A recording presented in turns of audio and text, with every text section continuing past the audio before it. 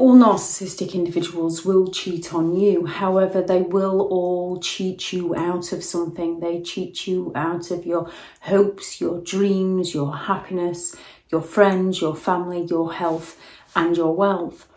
And when it comes to narcissistic individuals, they are some of the most secretive people you could ever meet.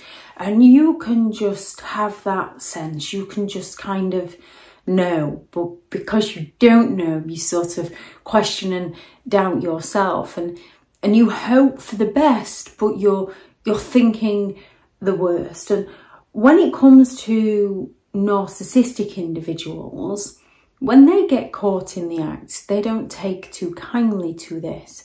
Most genuine people wouldn't do something in the first place that would, would hurt another person. When it comes to cheating, it is not a mistake.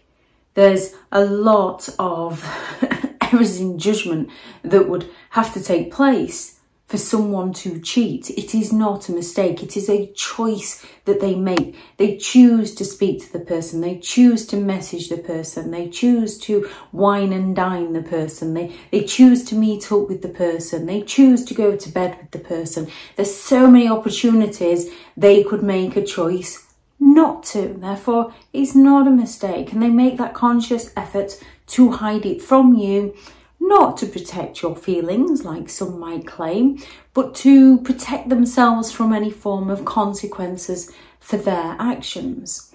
And once you catch a narcissistic individual cheating, they'll have the nerve to never trust you again because you caught them in the act.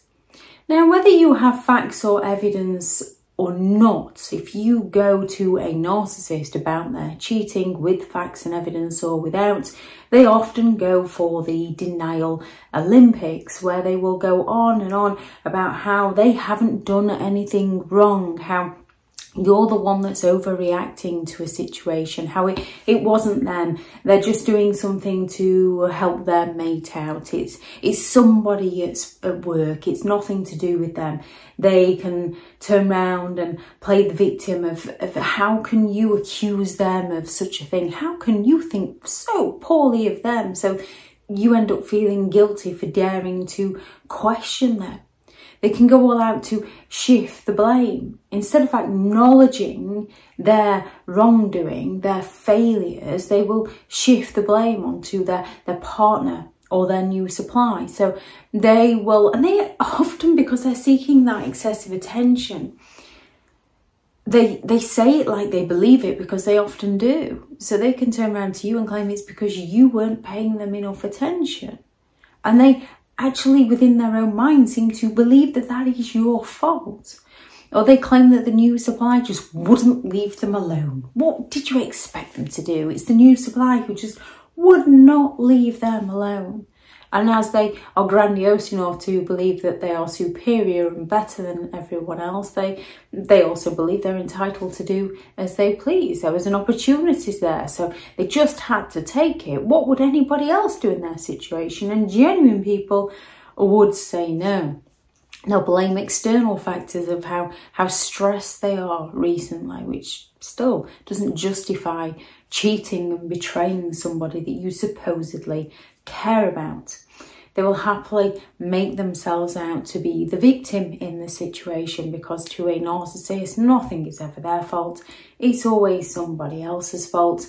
They don't take responsibility for their behaviour, and by playing the victim, they can manipulate the situation to almost make you feel sorry for them so that they don't have to feel sorry for you because they lack the empathy to do so.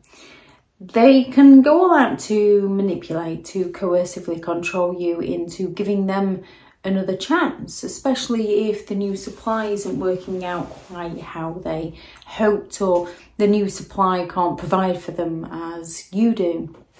So they can hoover, they can they can suddenly begin to love bomb and make all the false promises of the future, future fake with you. They can change temporarily. They can promise change, false promises of change, and change temporarily just to win you back on the side. Only once they've got you where they want you, they revert back to the person you were trying to escape from. And they often get worse because they, they seem to then need to to punish you for daring to make them work harder in order to keep you. They, they kind of twist it that you're the one that's being manipulative.